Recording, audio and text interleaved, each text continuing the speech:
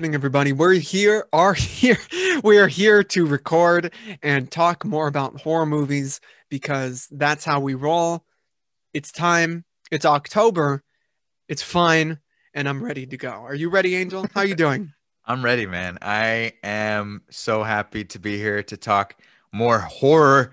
There's nothing else I would want to do uh, right now than talk about these fantastic selection of films that you have for us. I was literally up all night watching horror, so I can't wait to just blurt it all out and talk about why these films are phenomenal and uh, essential to the genre.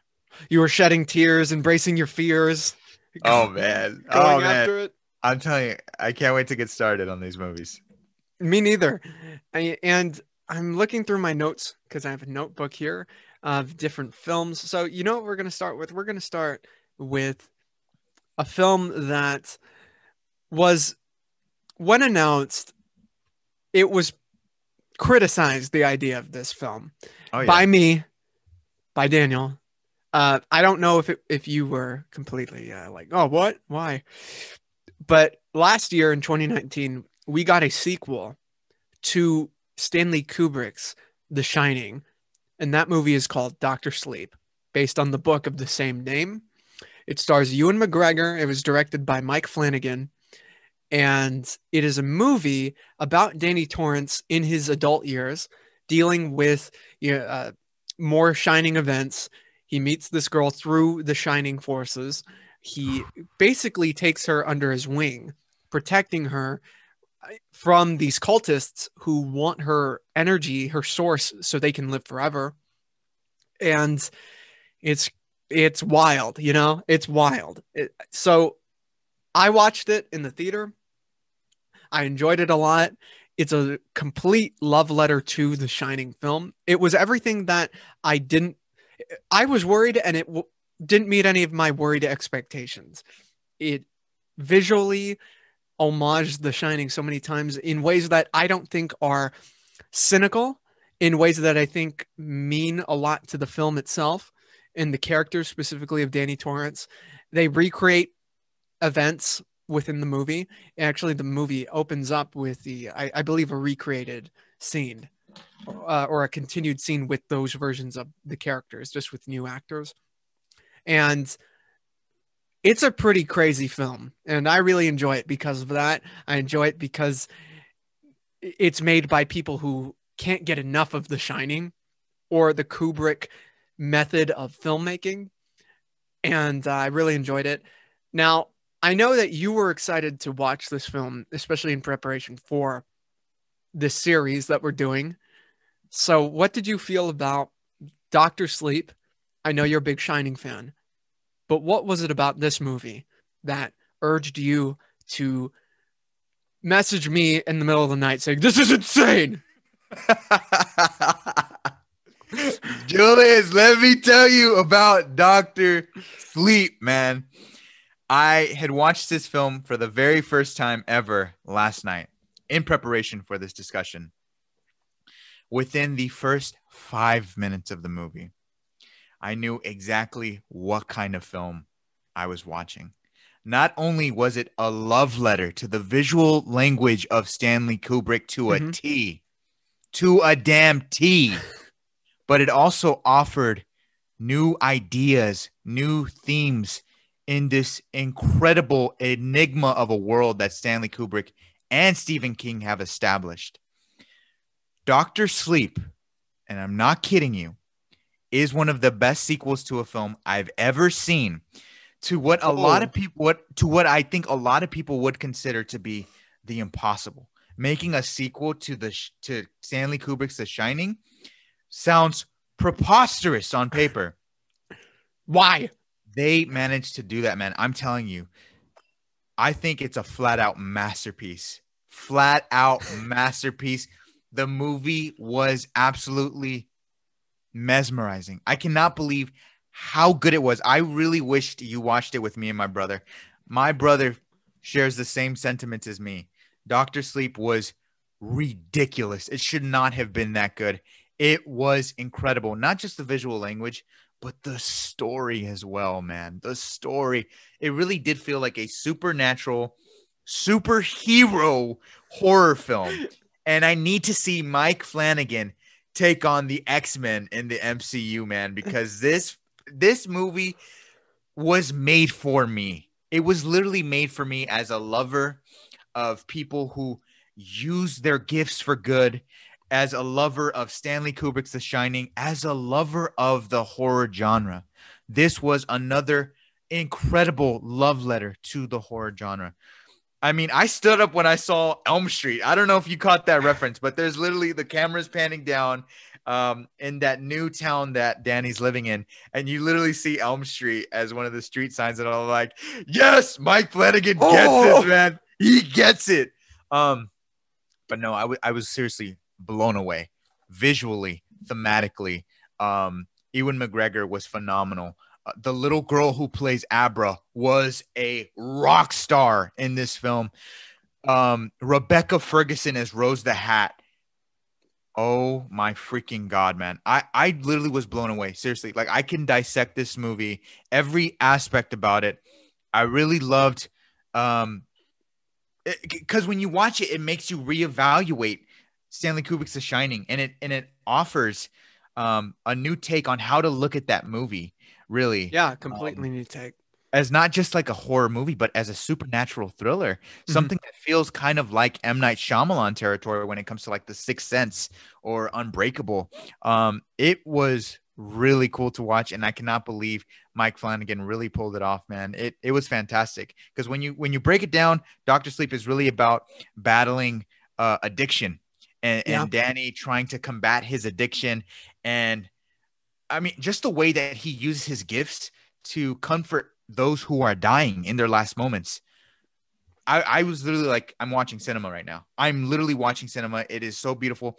And it was actually scary when you see little Danny in those moments that take place after The Shining at their house and seeing the naked bathtub lady in his bathroom opening the door.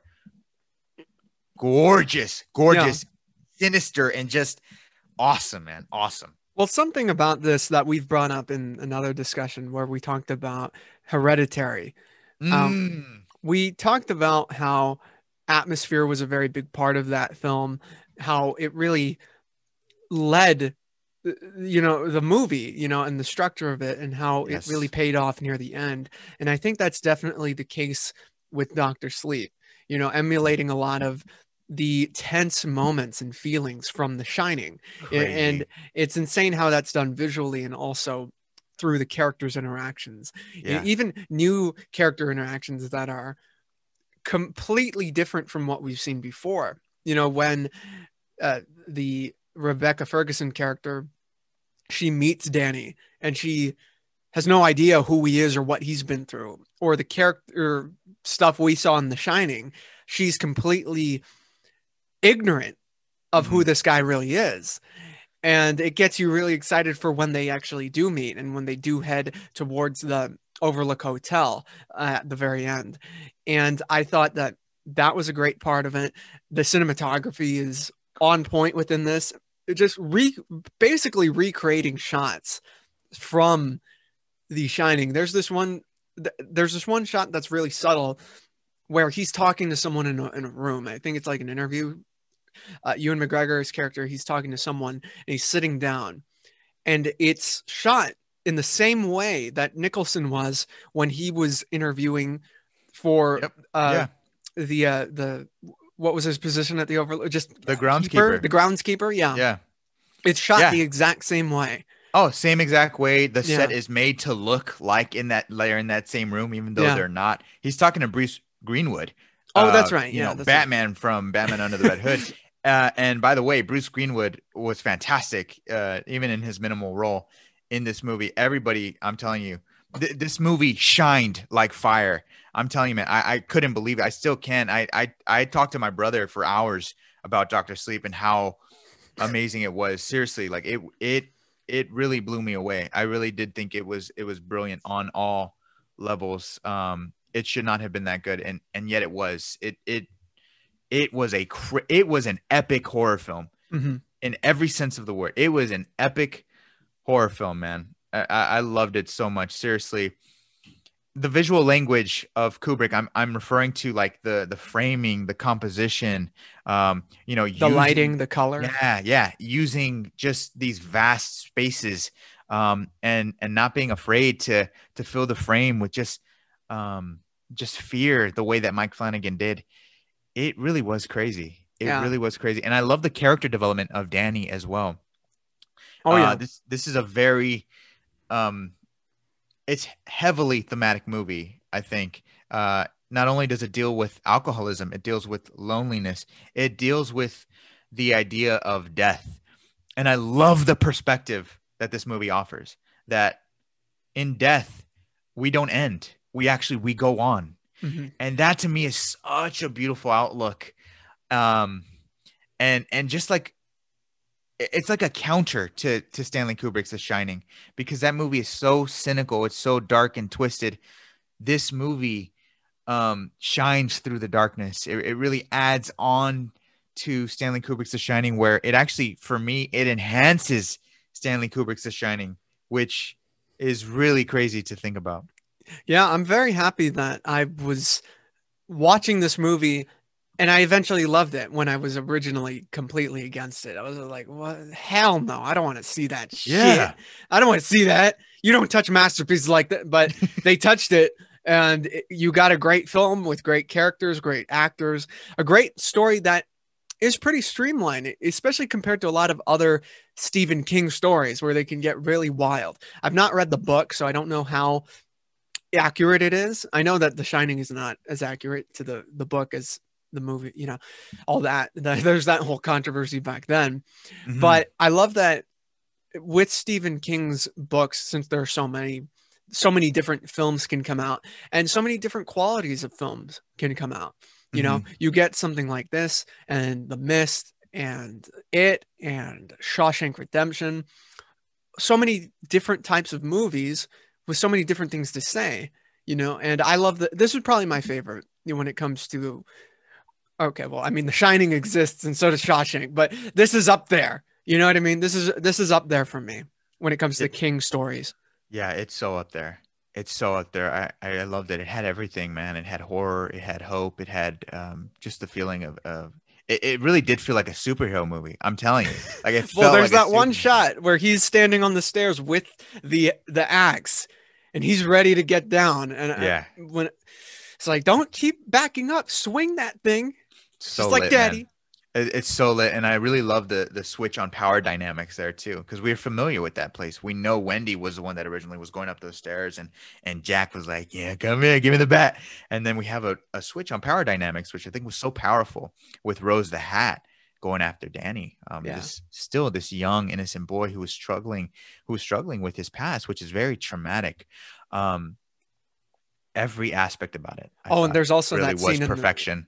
yeah, there's also that scene in the middle, which I thought was perfect, where it they lay the trap for the cult cultists. Mhm. Uh, him and his friend, they Yeah. lay the trap, and that's the moment where.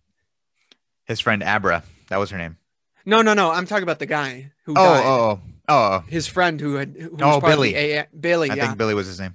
um, part of the AA, I, I believe they were part of AA together, Mm-hmm. Yeah. and they bonded this friendship, and they laid a trap for the cult members. Yeah. And when that scene happens, I was in the theater. I was like freaking out, like yes, oh my god, like uh, so good. insane. so good. And I, and I love the Billy character as well. I thought he was significant to the story too, because Danny learned from him. He learned that if you recognize somebody that is in pain, if you recognize the look of somebody feeling lost, do not hesitate to lend out a hand and help out. Mhm. Um, because again, it's our gift that we can do that. We can communicate. We can listen. We can understand.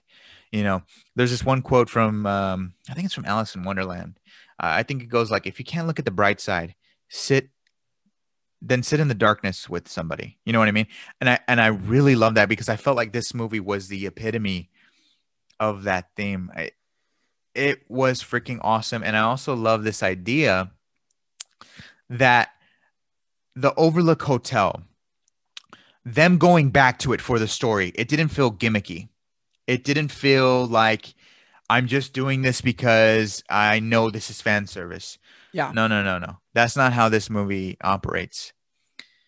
They literally take the idea of the Overlook Hotel and they merge it with the story in such a way that feels organic and fluid and natural and actually meaningful hmm that really blew me away. It really took my breath away. What did the Overlook Hotel represent in The Shining in the first movie? Well, it's kind of a puzzle. There's so many ways to look at it. But Mike Flanagan offers a very specific answer in this movie. It's a place that feeds on goodness. It's a place that feeds on individuals who are corrupted uh, within the soul or with addiction, which which is why we get Jack Torrance in the first movie. But it's also a place that is a dark place and the world is a dark place and it feeds on things that are dark and also things that are good. For example, people who shine. So, what are we going to do? Let's go back to that place because we know this is a really good chance for us to overcome our obstacle and take down the villain. Mhm.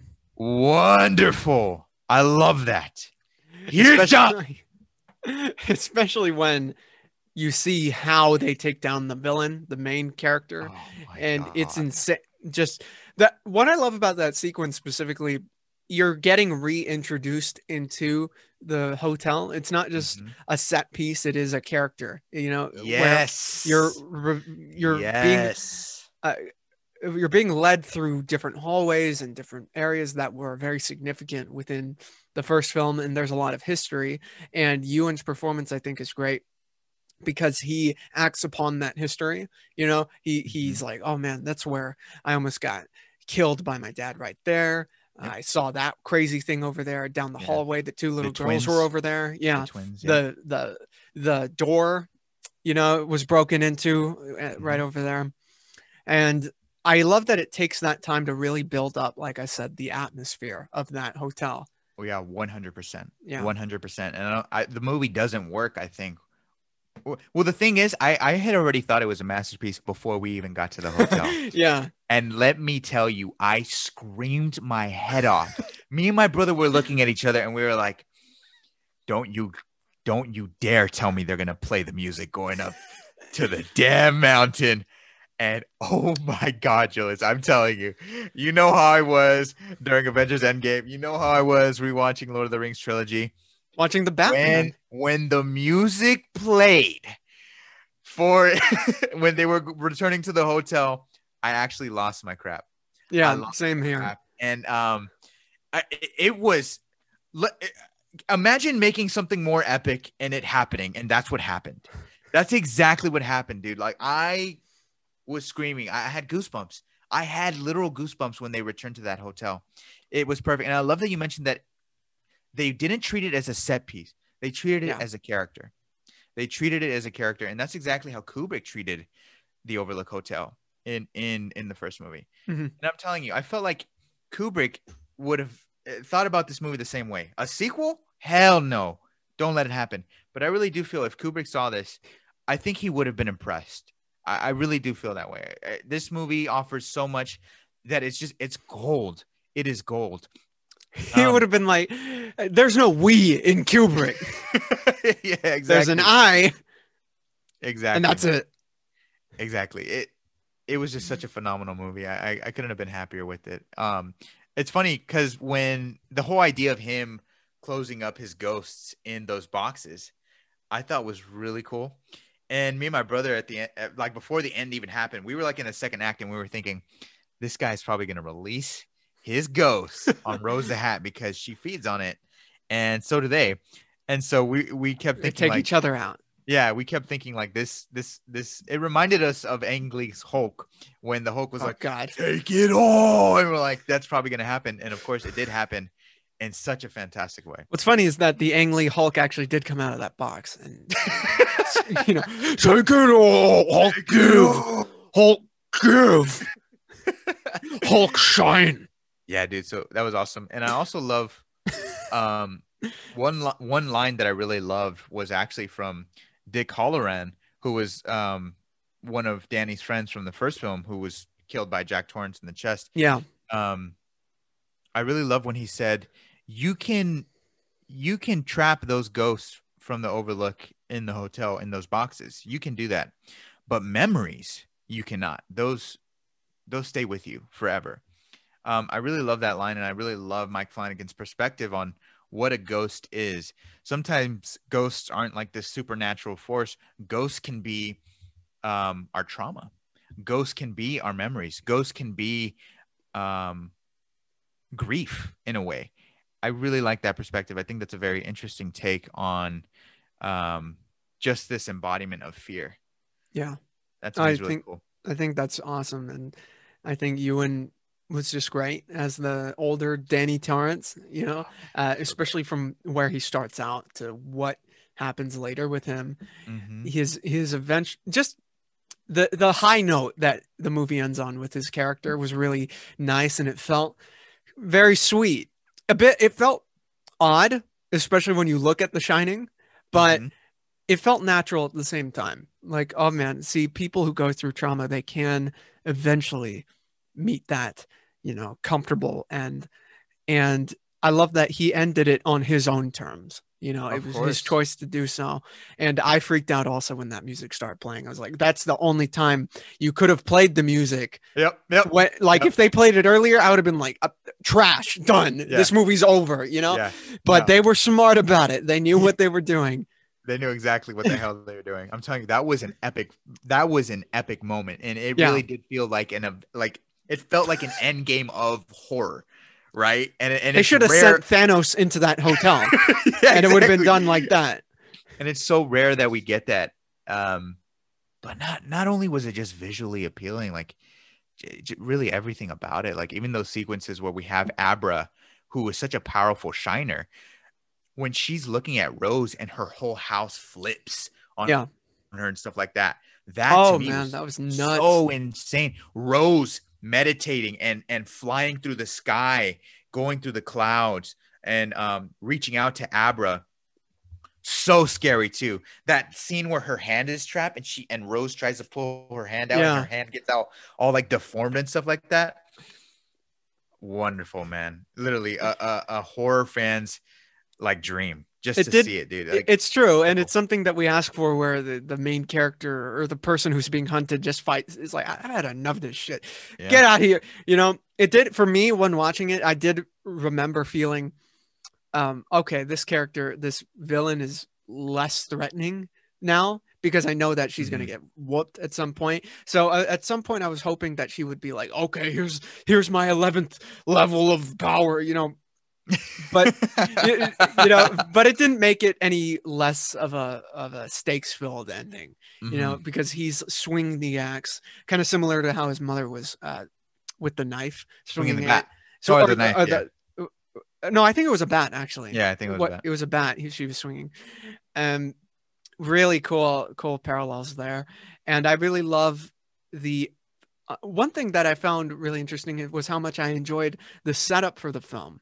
You know, where you're learning about where Danny is and what uh, road he chose to take from this alcoholic Yes, deadbeat yes, towards this guy who goes, you know, for to help the community in his own way yes. uh, really really interesting setup that it made that ending more satisfying because yeah you you weren't just wasting time you know like so many other horror films do you just okay here are the teenagers they're dumb they're young uh, we don't really need to give them too much development Mhm. uh, which is probably why so much of the time when it comes to slasher films they're just a dumb teenager because Mm. there's not a lot of character given to them at the very beginning Yeah. Whereas here, there's a lot of development with Danny. He's contacting Abra through the wall, which I really love that detail. oh my god yeah And uh, it just ended with a satisfying, I mean, axe, axe, axe yeah. body spray. Yeah, It literally did. Yeah. Everything you just said, yes, completely.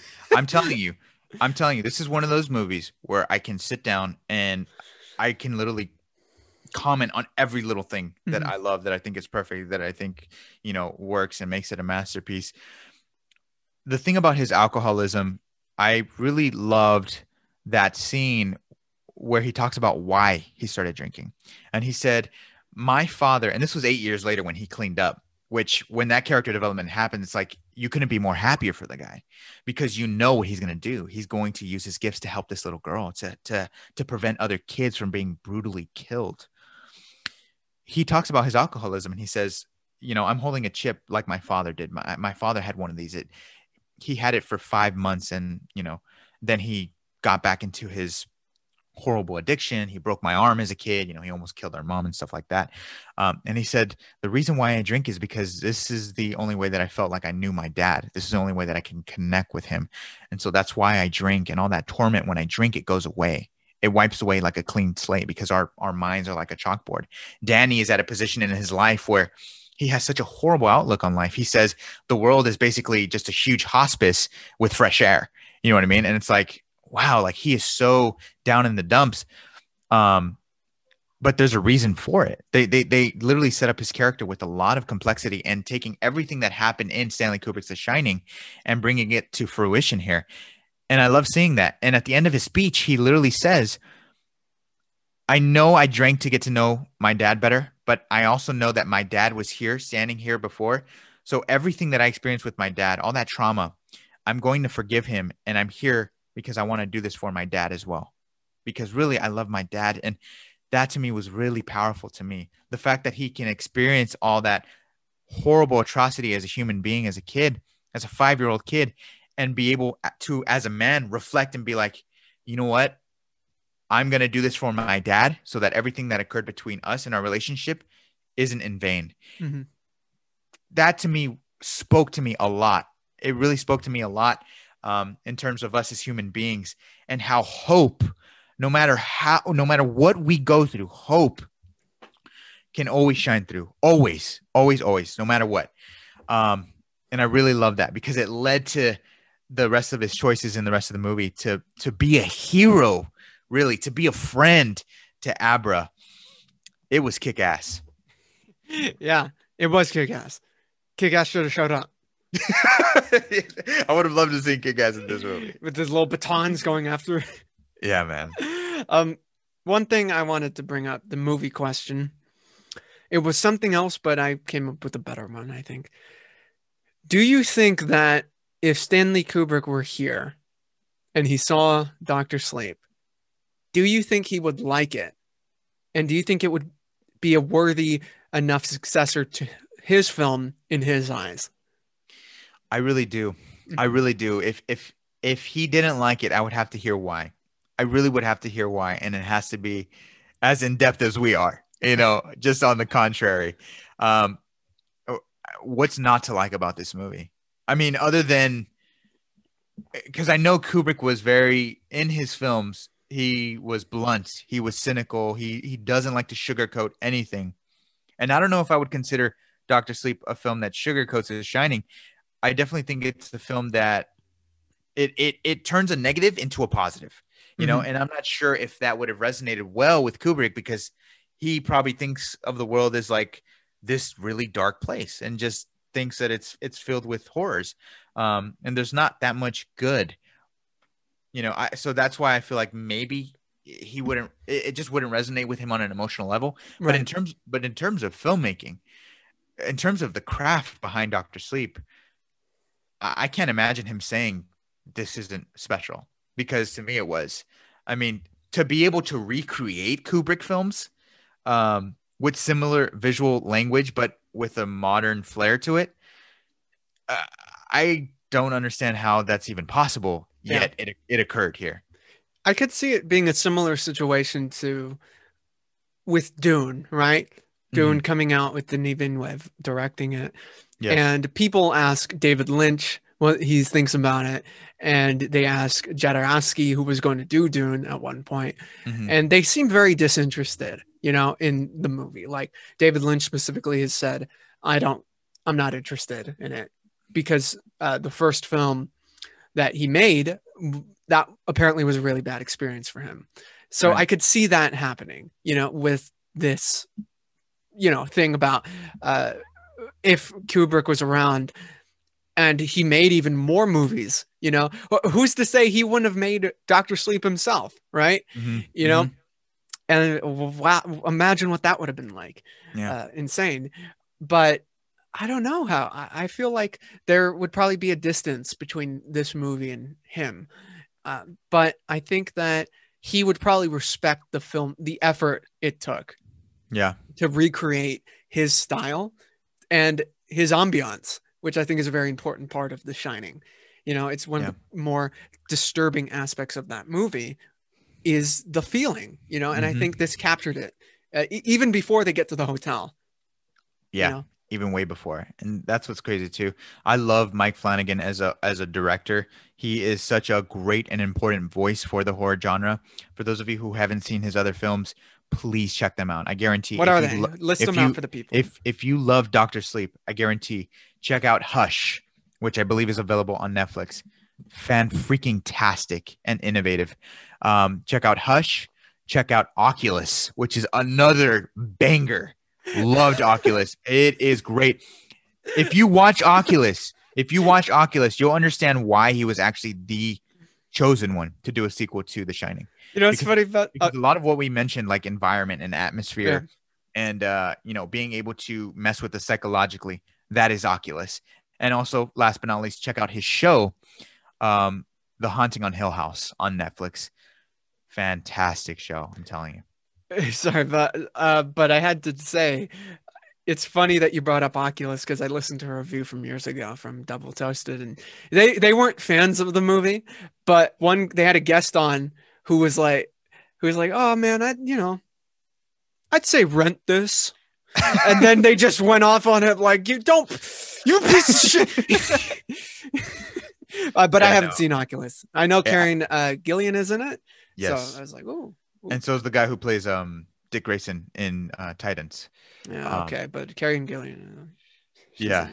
but they're both wonderful That's they're both girl. wonderful and i guarantee you like th- the movie's great the movie's great i'm telling you I'm gonna send you that clip. Actually, I'm gonna incorporate it in this video Cut to it. right now. no man it, it's great it really is great you know Okay. his, his entire work his entire work you can't make a movie like doctor sleep and not and not be a, a good filmmaker like And do you think way. you should do X Men in the MCU? I, yes 100% yes those scenes where um it- just like you said like um danny taking her under his wing you know at first being reluctant my brother Mhm. was like wow he's very much like charles in days of future past which i completely see the similarities there um no but just the just the overall theme of like having a gift embracing who you are very important to the x-men and his set pieces in this movie i think can be very exciting for uh an x-men movie i mean seeing rose the hat go through the sky like that is that not storm like come on bro like is no, that no, no. That's not fair. is okay. that is that not magneto dog like come on like yeah he he is That's some Jean Grey shit. he, he's my boy for for the x-men right now for mcu x-men How about this? We get him, and we get Ewan McGregor as Xavier. let's get it that. boy let's get it man let's I, i'm i'm so down. I'm so down. I'm telling you i could not have been more impressed with this movie. It really is the ultimate love letter to the shining. And yeah it, it's literally like um lightning striking twice you know? Now That's that how you, rare a movie like this is. Now that we're mentioning X Men directors, let's bring in Danny Boyle, huh? Let's bring in Danny Boyle. Let's do it. Let's Man, do it. yes and, yes and Danny then. Xavier's Ewan McGregor can be like, mutants are shite, along with Dude. Scotland. Hell yeah, dude. Ewan McGregor's Mr. Sinister could work under Danny Boyle. 100%. 100%, dude. I remember I wanted Ewan as uh, Mr. Fantastic. If that doesn't happen, I I need him as Xavier. Hey, that could still happen, man. That could still it better happen. happen. But it's not yeah, a uh, stretch. My concluding thoughts on Doctor Sleep. I, I I love the character development for sure. You know, Danny Yes. Danny was um somebody who was sick of tired of being sick and tired, like they said in the movie. And um That's a great know, line. in in order in order for us to be in order for us to come away like I- i love when horror movies do this not only was it scary right not only were there scenes where it's like oh man this is chilling like oh hell no like get away from that bathroom don't go with that naked you know lady in the bathtub who's deteriorating and just like filled with mold and stuff like that Well, at least not that one. yeah, at least not that one. but I love that. Really, this movie really, when you think about it, it really is about trauma and, and how we can overcome that. And what's the best way that we can overcome it?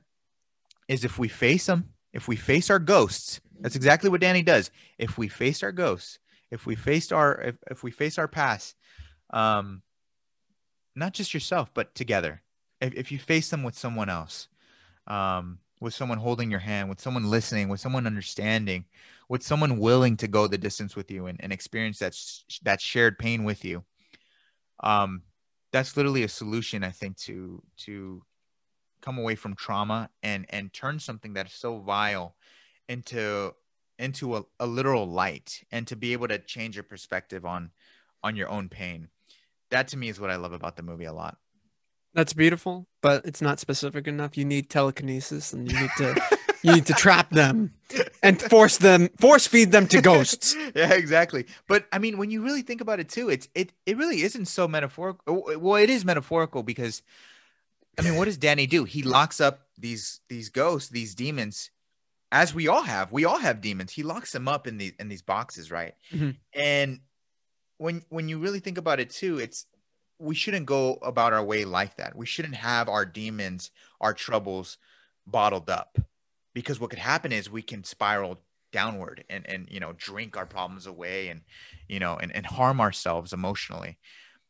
What's important for us for those of us who have demons in these boxes is to is to unleash them once in a while um, in a very healthy way. Um, because when we unleash when we unleash them we experience catharsis. And Yeah. catharsis is exactly i think the goal for people who uh, have psychological pain. Catharsis allows us to to relieve ourselves um, in a productive way that uh, I, I just loved seeing that expressed through this movie. It, it was so it was so brilliant i thought. And also last thing before we end on dr sleep is i really loved how they didn't use de-aging but they used different actors to portray familiar characters like wendy like dick and of course jack torrance what did you think about those scenes man I wish they put in uh, the current Jack Nicholson in suit. That would been. That- just imagine his his his him, him in that suit. Yeah. Just like you know, things got to go the way they got to go, Danny boy. exactly Have a drink, sir. Yeah. no, I thought that was a really good scene, and uh, I would have preferred if they didn't show him because it Mm. it just it, it wasn't him. You know, it Right, was right. not Jack Nicholson. Yeah. Uh, so it got a little bizarre, but I thought the actor did a really good job getting Oh, yeah. that presence of him. that's actually that's ac- that actor is elliot from et wow. yeah. as an older man which That's is so, so crazy weird. Yeah, he's worked with Mike Flanagan before on Haunting on Hill House, so they're really good friends. Um, but those scenes where they were recreating, or they they gave us characters who we're very familiar with. I thought the the actress who played Wendy was phenomenal, Yeah. phenomenal. I She thought so too. She definitely captured the essence of uh, Shelley Duvall as Wendy, along with the other characters like um, Dick and also um, Jack Torrance. Of course, it was jarring to see Yeah. his face, and it's like, oh yeah, that's not Jack Nicholson. But what I really appreciated about what Mike Flanagan did was he caught the essence of the character. Yeah. um, I was able to to. I didn't think of Jack Nicholson. I thought of Jack Torrance. Right. And I thought that scene was very intriguing as well because really you saw Danny talking with his dad, but it's also him talking with his um, addiction. Uh, that whole scene is is him and his addiction. You know, his di- his addiction telling him, you know, just just one drink, it won't cost a thing. I Mhm. promise. On the house. And Danny's like, no, this this this sip of of alcohol actually will cost me everything. It'll cost me eight years um, of my progress, and it also costed me my family. And and my mom can't even look at me. Um, when, when my mom died, she couldn't even look me in the eyes because of this this this sip of drink because my dad traumatized her so bad.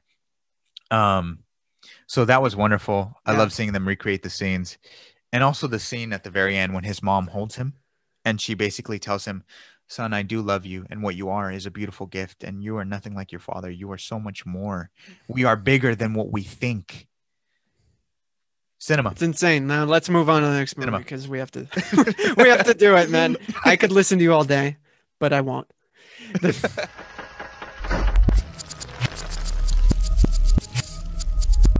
The GOAT podcast is proof you don't have to look any further for movie news, reviews, trailer reactions, or special discussions. Subscribe, get notified about what's going on, and I promise you'll be entertained by our daily content on YouTube. If you want more, we're on Twitter at GOAT Film Podcast, Instagram The GOAT Podcast, and the GOAT Movie Group on Facebook. Get connected with us, see what's happening, and make sure to love it while you're doing so.